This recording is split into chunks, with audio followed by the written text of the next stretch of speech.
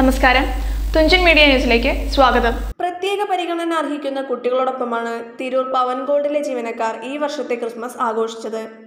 കടുങ്ങാത്തുകുണ്ടിൽ പ്രവർത്തിക്കുന്നതും Aster chairman Padmashri doctor Azad മൂപ്പന്റെ ഉടമസ്ഥതയിലുമുള്ള M A Mooppan school for special നീഡ്സിലെ നൂറുകണക്കിന് കുട്ടികളോടൊപ്പം പാട്ടും കളികളുമായി നടന്ന ആഘോഷം ജീവനക്കാർക്ക് മറക്കാനാവാത്ത അനുഭവമായി മാറി.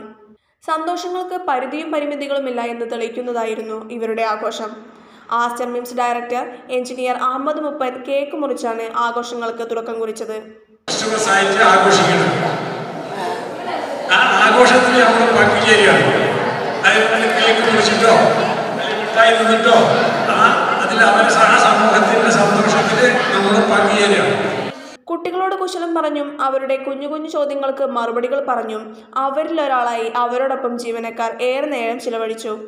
ചുവന്ന കുപ്പായവും തൊപ്പിയും അണിഞ്ഞു വന്ന ക്രിസ്മസ് അപ്പൂപ്പൻ മിഠായികൾ വാരി വിതറിയതോടെ കുട്ടികളും ആഹ്ലാദത്തിലായി.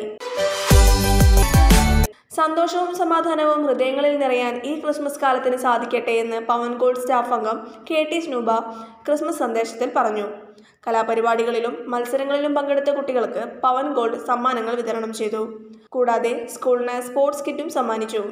Principal U Shaleena P T A president A K M A Majeed vice president Salam T Sandhya Sivaraman Kaliyath Shameem Ashkar Ali തുടങ്ങിയവർ ആശംസകൾ നേർന്നു.